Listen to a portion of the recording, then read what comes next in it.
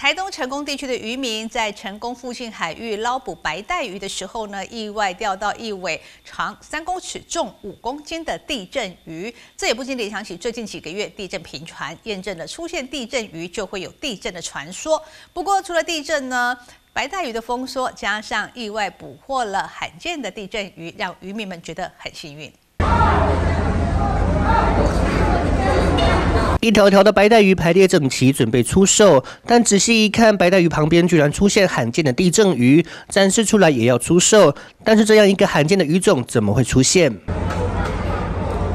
原来是台东成功地区的渔民近日上午在成功附近海域捕捞白带鱼时，意外钓获一尾长三公尺、重五公斤的地震鱼，也让原本就捕捞丰收的白带鱼还意外捕获到地震鱼，让渔民多了一笔收入。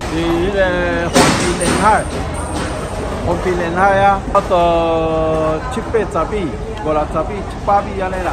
啊，这款鱼啊会钓钓，互咱钓钓无？这个歹讲嘞，这歹讲啊，不一定的啦。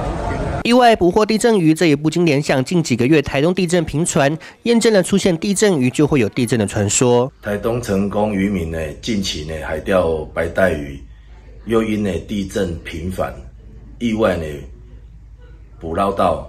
地震鱼重达五公斤。